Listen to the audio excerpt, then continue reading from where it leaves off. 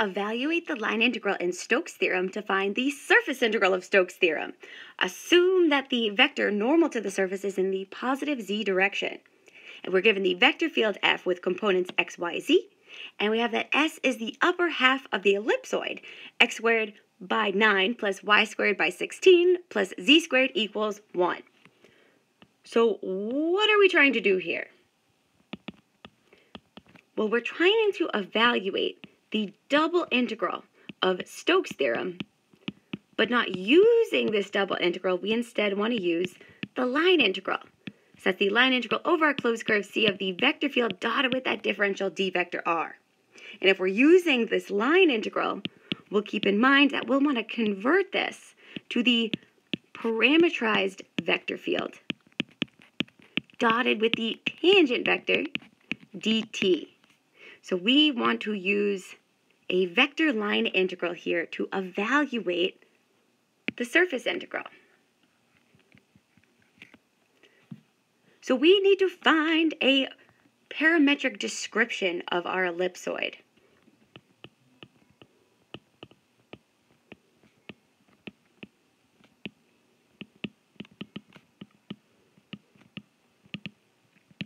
And since we are using the vector line integral, we need a one parameter description.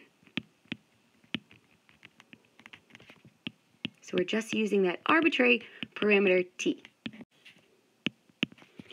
So in this case, I think it's going to be most helpful to start by recalling what is the parametric description of an ellipse in R2.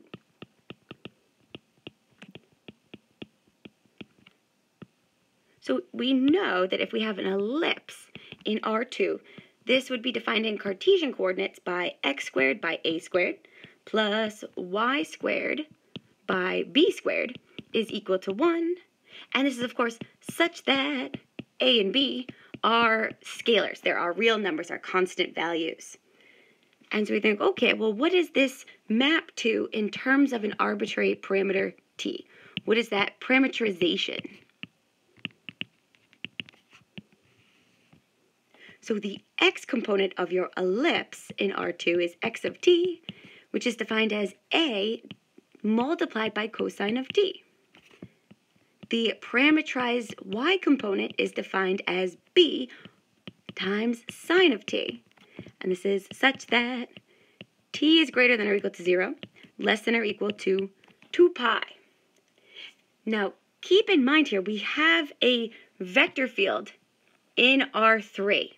Right? We're also trying to parameterize an ellipse. So there's still that z component.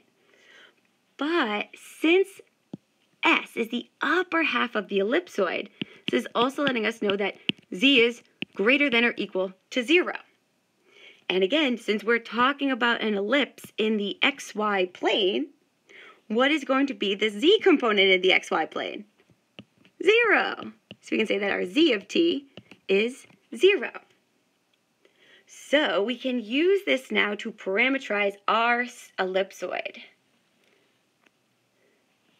So again, we are given the surface here, and I'm going to rewrite this as x squared over 9, or we can say 3 squared, plus y squared over 16, or 4 squared, plus z squared over 1 is equal to 1. And this is such that z is greater than or equal to 0.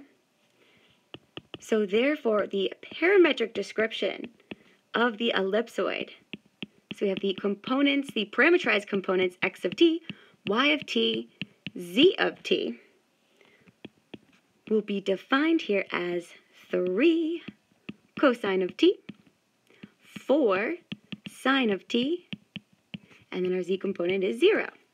And again, this is such that t is greater than or equal to 0, less than or equal to 2 pi.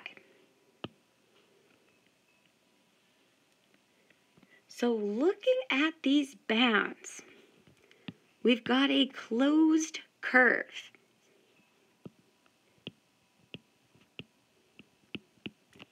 And keeping that last example in mind, as well as the fundamental theorem of line integrals, it's going to be beneficial in this case to just double check to see if your vector field is conservative. So before we go any further than this, let's check what's going on with our vector field. We want to check if the vector field is conservative. This will provide us with a awesome shortcut. Remember that the fundamental theorem of line integrals tells us that if we're evaluating a vector line integral over a closed curve, which we are, and if that vector field is conservative, then the vector line integral is zero. So here we go, let's check. So we have this vector field f defined by the components f, g, h, which are given to us as x, y, z. Let's go ahead and find all those partial derivatives. So we have f equals x, our g component is defined as y, and the h component is defined as z. So we need the partial derivative of f with respect to y, as well as the partial derivative of f with respect to z, which are both 0 in this case. We need to find the partial derivative of g with respect to x and the partial derivative of g with respect to z, which are also both equal to 0. And we need the partial derivative of h with respect to y and the partial derivative of h with respect to x, which are both also 0. Woohoo! So we can say that therefore, since the partial derivative of f with respect to y equals the partial derivative of g with respect to x, they're both 0, since the partial derivative of f with respect to z is equal to the partial derivative of h with respect to x, which is also 0, and since the partial derivative of g with respect to z is equal to the partial derivative of h with respect to y is equal to 0, the vector field f is conservative. remember, this means that our vector field, f, can be written as the gradient of the potential function phi. So we don't need any further calculations. We're able to make the final conclusions right here. We can say, therefore, by the fundamental theorem of line integrals,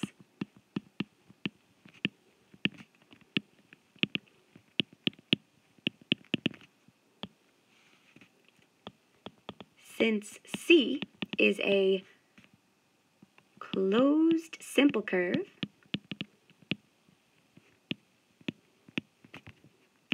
and since our vector field is conservative, then the vector line integral over this closed curve C of the conservative vector field dotted with the differential d vector r is 0. So, by Stokes' theorem, the double integral over the surface f's of the curl of the vector field dotted with the vector normal to the surface with respect to the surface is also equal to 0. And so this is our beautiful final answer. So here we really didn't even need to parameterize the surface to start. It was just for good practice. So this is a demonstration why it's always convenient or important to check is your vector field conservative?